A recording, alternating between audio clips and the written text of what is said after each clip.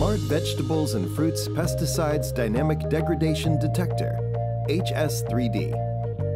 Pesticide residue on fruits and vegetables has long been an issue of concern.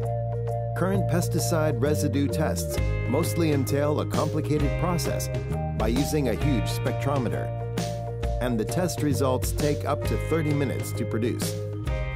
ITRI has developed the Smart Vegetables and Fruits Pesticides Dynamic Degradation Detector, whose optical detection saves users the hassle of any pre-test work. Users simply place the device into the water during the cleaning process, and they can learn whether the pesticide residues fall within the safe range.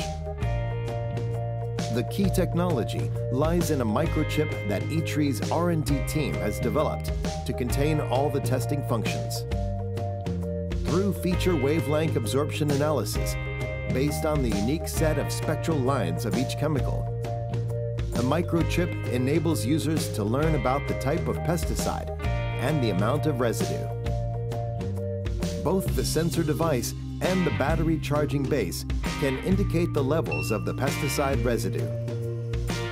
The red light indicates an excessive amount of residue.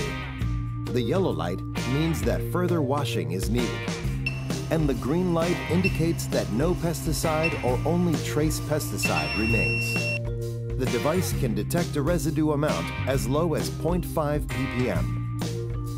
In consideration of users' different habits, the device is equipped with Bluetooth for database updating to meet regional needs across the world.